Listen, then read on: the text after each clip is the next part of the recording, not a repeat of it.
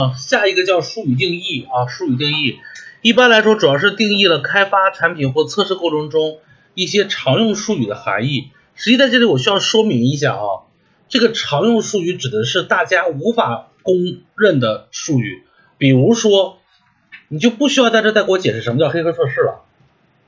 也就是如果我们都明白是什么意思，这个术语就没有必要再解释了。怕的是什么呢？容易引起歧义的。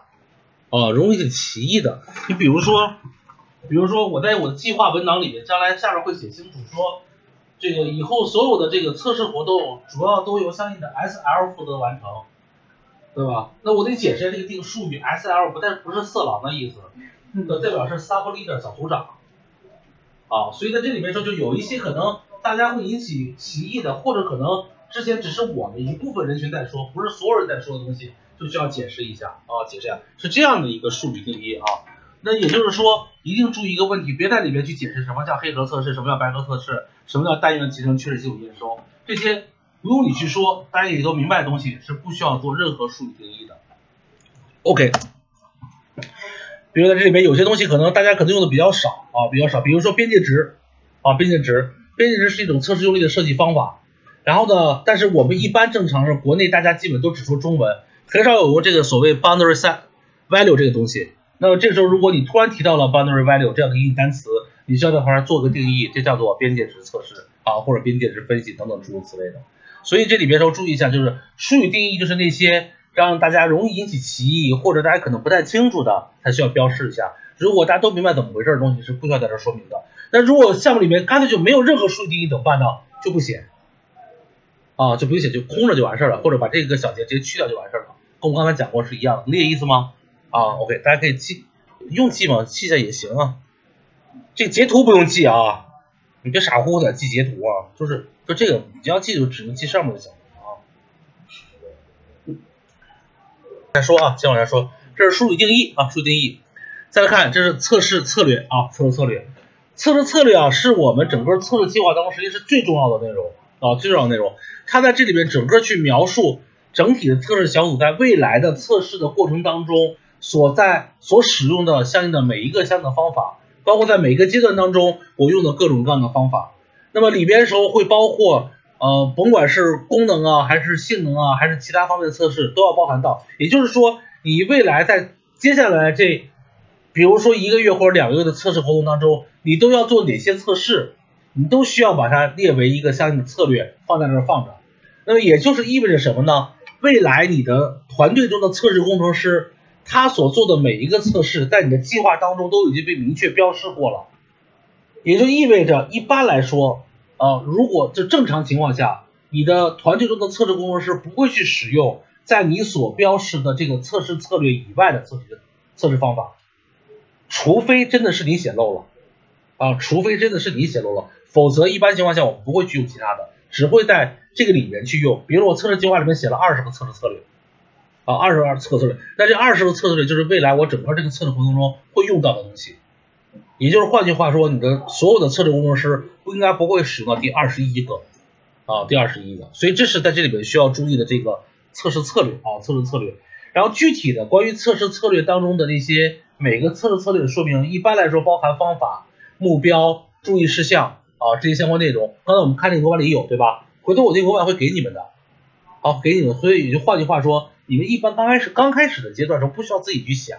啊，不需要自己去想，只要照着拿过来之后呢，去针对你当前的对策项目有针对性进行修改就可以了，啊，但得改。之前说过了，不能照着照搬直接用吧，对吧？有些是符合或者适合别人项目的策略策略，在你当前项目里面符不符合，是不是得打一个问号啊？是吧？得是不是得需要经过经过仔仔细的思考才决定啊？啊，所以这块需要注意一下啊，需要注意一下。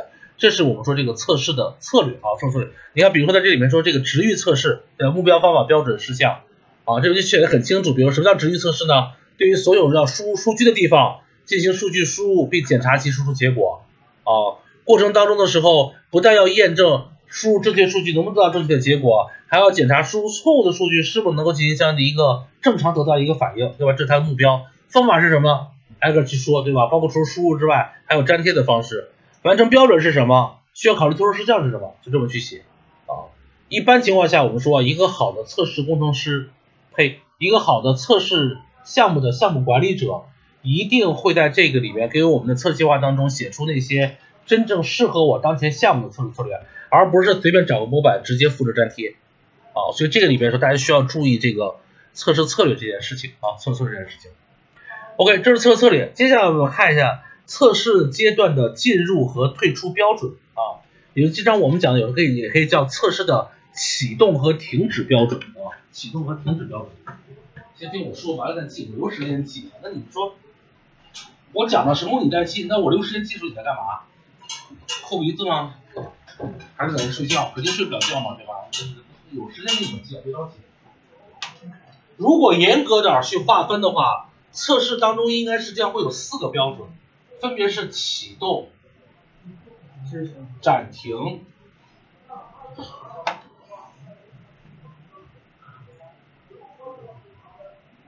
重启和停止。啊，一般来说会有这样四个标准啊，四个标准。启动标准啊，启动标准就是我的测试什么时候就可以开始正式执行了。一般来说，所有的这四个类别当中，标准不可能只有一件事情，一定是很多件事情。那么基本上大部分的测试的启动标准比较好规划，大部分的开发阶段的准出标准，就是你开发的准出标准，就是你测试执行的准入标准。注意，我说的是测试执行的。准入标准，你的测试的准备工作是等开发结束吗？是啊，一定是你的，就是那个那个那个准入啊，测试执行的准入标准，一定是你的，你跟人家是同步并行进行的吧，对吧？人家在写代码的时候，你这边做测试设计，我这强调的是等开发那边的代码写完之后，它的开发的阶段的这种准出标准，是你测试执行阶段的准入标准。你这这个启动是好定的啊，是比较好定的。这个停止标准不太好定啊，不太好定。不是说我把所有的用力全部执行完，就代表我测试可以停了。一般来说啊，一般来说要看几个东西啊，几个。第一个啊，第一个这个好好写。第一个叫覆盖率。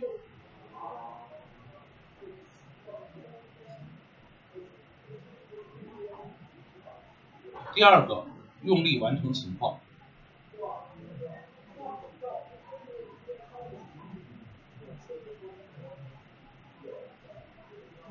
第三个残留缺陷情况，就是残留缺陷，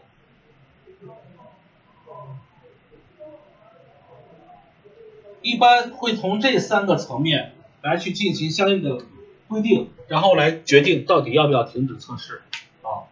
第一个叫测试的覆盖率啊，一般来说测试覆盖率如果再细分的话还有很多，比如说测试设计的覆盖率，测试执行的覆盖率。啊，所以在这里面说，一般来说总是按覆盖率来算。你的覆盖率如果达到了我当前制定的某一个标准，那你就可以考虑下一个事情完成情况。如果这三件事情都完成标准，就可以停止了，就这意思。那么最常见的覆盖率就是什么？需求覆盖率。用户的需求也好，软件需求也好，是不是都按照你的既定的标准都测试到了？这叫需求覆盖率啊。那么如果都到了，能达到百分之百或者百分之九十九以上，这当然具体标准你自己来定啊，作为项目管理自己来定。你觉得是 OK 的一个标准，比如九十五以上你觉得 OK，那你就这就是你的覆盖率的标准。用力完成情况呢，是对于你相应的用力的设计和执行这两个阶段的工作分别做规约。比如说我要求我的用力设计要完全覆盖当前的需求说明，那么这个时候就是你用力设计的完成情况。那么用力执行我要求百分百执行，就所有我只要设计用力都必须要严格执行，那叫用力执行的完成情况。如果这两个都达到我的标准，我可以考虑下一个东西，这是用力的完成情况。最后一个是残留缺陷的情况，我们之前讲过，对吧？不是说你通过了经经过了测试之后，被测软件里就没有缺陷了，对吧？它有两种可能存在缺陷的情况，还记得吧？第一种是你发现了没有啊？确实没发现，对吧？确实没发现，你无论怎么做测试，它确实没有暴露出来，因为缺陷是隐藏的嘛，对吧？这是有情况。还有一种情况。虽然你发现了，你也知道这是个缺陷，但你也没有修复。呃，当然，如果细分也会有两种啊，一种是确实开发人员无法修复，因为属于第三方的缺陷。你比如最常见 BS 架构软件当中浏览器的问题，那你你的这个开发方人家他是专门开发的这个 BS 架构软件，浏览器是另外的开发方在负责，比如说微软，比如说 Google，那你这个时候发现了个浏览器的缺陷，你让你当前这个开发团队去改，他肯定改不了啊，对吧？那所以这种缺陷可能是不改的。还有一种就是虽然是缺陷，但是用户可以容忍和接受，那是不是也不改啊？对吧？OK，那么这种情况下的时候，这些残留的缺陷的情况能不能达到你的标准？那么一般最常见的一个比较好用的一种方式是什么呢？就是按照我们刚才前面上节课讲的，按照缺陷严重程度的残留情况，严重程度是不是当缺陷产生之后对当前系统的影响程度啊？对吧？OK，就比如说我们最常见，我个人常用一种方式啊，比如说我我我一共分了五个严重程度。从 S 一到 S 五，S 一就是那个致命的，S 五就是那个建议的。那比如说我定了一个残留标准啊，缺陷残留标准，无 S 一、S 二、S 三，啊，这是我定的一个标准。第一个是无 S 一、S 二、S 三，就换句话说，从致命的到严重的到普通的都没有，对吧？然后紧接着 S 四少于残留缺陷的，比如说百分之五，S 五少于百分之十。以上条件都满足，残留情况符合要求，这是一种方式啊，这种方式。那你定好了所有的停止标准之后，那么每一个标注意啊，我们这里面标准的关系都是你的关系，一定注意啊，都是与的关系，不是或的关系，一定注意。换句话说，必须都满足才可以吧，对吧？如果只有一个满足，有两个满足，缺陷能停？Sorry，测试能停止吗？不可以。所以换句话说，当以上所有的停止、所有的测试的这种完成标准都满足情况下，我的测试才可以停止。测试不能无休止的进行下去，让你一直测也能测。就说句不太稍微夸张点的话，从你进到一个企业开始，或进到一个项目开始，直到把你自己测死都可以一直测。但是我们说软件不可能变成这种情况嘛，它总要发布，总要见人，丑媳妇总要见公婆嘛，那总会去发布，所以。你的测试什么时候停，一定要制定一个非常严格的停止标准。这么说能理解吗？啊，这是关于这个测试的一个停止标准。然后这个暂停和重启也比较好好理解啊，就是我的测试可能因为有一些什么样的情况导致当前无法继续进行了，比如说最常见情况，好要暂停，比如说，比如主要人员突然离场啊，或者突然离开项目，这个对，这原因有很多，有可能是比如说，比如说这个这个。我们的所有的这个测试团队呢，这个这个大家每天都是，你像你像你像现在就是北京像西二旗那边很多公司是这样的，他每天的时候有公有有有有那个通勤车啊通勤车，然后我记得我以前做项目也是，那个当时我们那项目在生命科学园，然后他每回从丽水桥发一个通勤车，呃那如果大家对这个距离稍微有点，坐坐这个公司的班车有是最爽的事情是什么呢？你在上面坐着就 OK 了，不用管，即使迟到了也没人管你，为什么？因为那是公司的班车。对吧？所以迟到也没人管你，上车就睡觉，啊，上车睡觉。然后我以前还见过，我们做过的一个同以前一个同事，就是他他以前的公司，他们家住亦庄，上班在上地，啊，然后每天上车睡睡觉，大概那车得开一个多小时，将近两个小时，有时候堵车三个小时也是他，啊，上车就睡觉，睡一大觉，然后这超爽了，对吧？然后尤其很多公司的通勤车，大大大大公巴大那个大公交车那种大巴车，还都挺舒服那座。而且公司大部分的通勤车都坐不满，你一个人可以舒舒服服坐两个人的座，就躺着睡都可以。反正你们将来肯定有人会坐公司的通勤车或班车，你就会知道，一上去如果到场了，一定会有人在后面打呼噜，啊，一定会的。反正在公交车干什么都有聊天的、打呼噜的，呃，当然不会像四，不是不会像国企啊，还有人在上面织毛衣或、打扑克。反正像这种的，比如说打个比方，我说个不太恰当的比比喻啊，或者一个例子，比如你们公司有通勤车，对吧？比如有一天通通勤车上或者这公司班车上载的都是测试工程师，结果突然这个通勤车比如开河沟里去了，啊，所有的测试工程师都不幸遇难了，那我当前这个项目肯定进行不下去了，所以就得暂停，暂停等什么呢？等重新招聘新的人再过来，对吧？那一般估计很难招到，对吧？很难招到，这个项目得多费啊，多点。还有还有一种是一般什么情况呢？比如说测试资源突然不到位，比如说我现在要准备开始，前面的功能测试都测完了。要准备测性能的时候，发现当前的这个测试环境不满足或不支持我能够完成性能测试，那你得先停下来，等等什么呢？等他把这个环境准备好之后，我再接着测。还有时候有些什么样暂停情况呢？就是现在产生了一个非常致命的缺陷，而这个缺陷阻碍我后续所有测试的执行，那就只能先停下来等，等它什么时候修复了，我再去进行后边的事情，这都叫测试的暂停。那你作为一个好的测试工程项目管理者，你可以把常见的测试的暂停标准都写在这儿，然后测试的重启标准更好写，导致暂停的事件被解决，是不是就可以重启了？对吧？所以这里要注意啊，暂停的标准当中的这个这个测试暂停的标准当中，大部分事儿都是或的关系，有一个事情发生，测试就停了。然后重启的事情也是一样，只要让当前项目停的那个事儿被修复了，测试就可以重启了。啊，所以这里要注意啊，你像启动和停止当中的标准一般都是与的关系，而暂停和重启当中的这个事情标准大部分都是或的关系，啊，都是或的关系。OK，这是在这里边的时候，我们说相对应的测试阶段的一个相应的一个进入和退出标准，我们去展开去说的这么一个事情啊，这么一个事情，大家需要去记一下吧，啊，可以记一下啊。刚才我们这是说的测试策略和测试阶段进入退出标准啊，那接下来我们来看一下。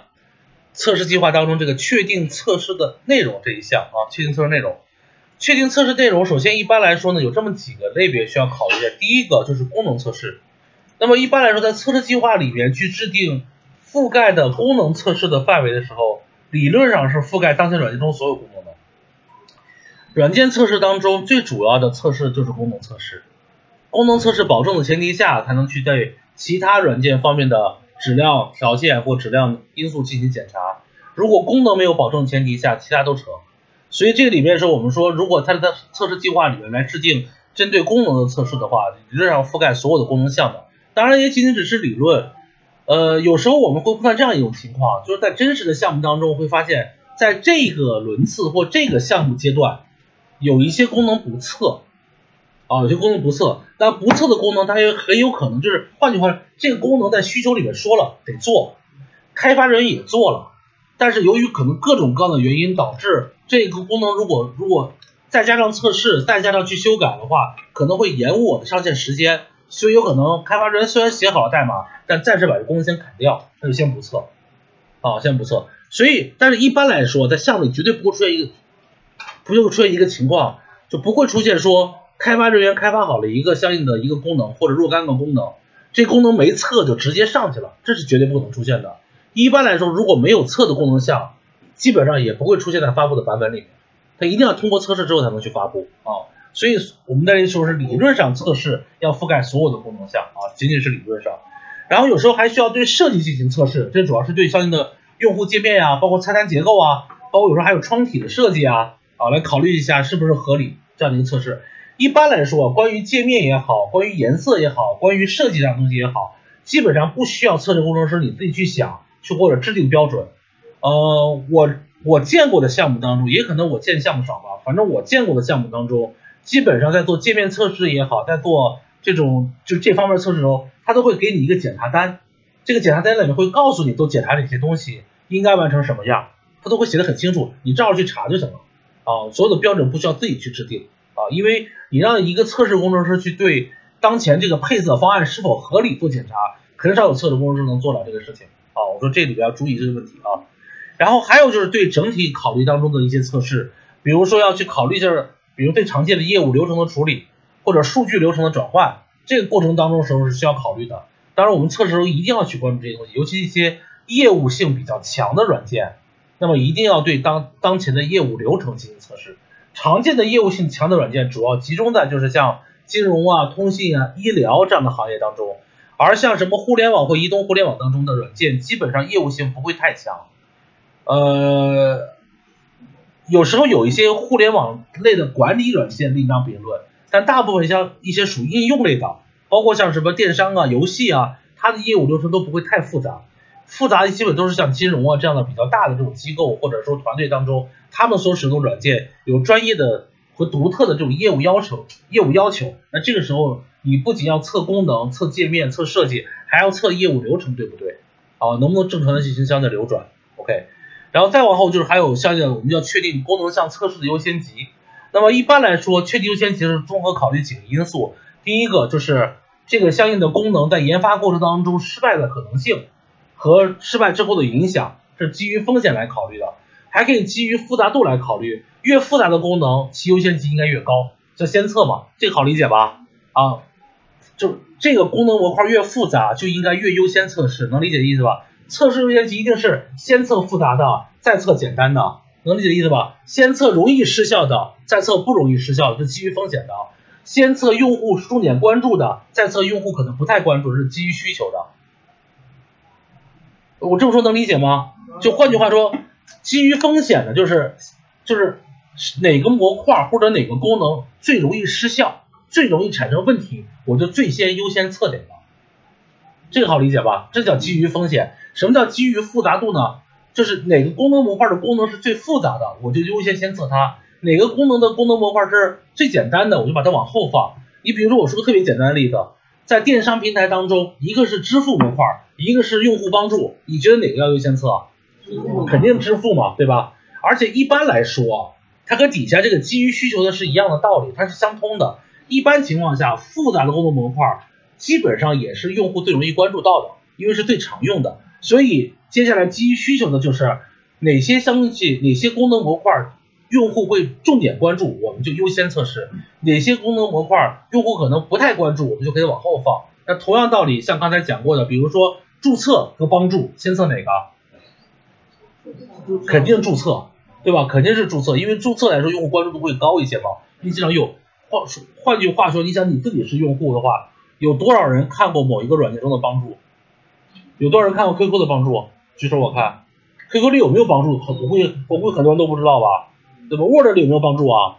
啊有，怎么怎么能够调开帮助啊？啊？有快捷键吗？F 一。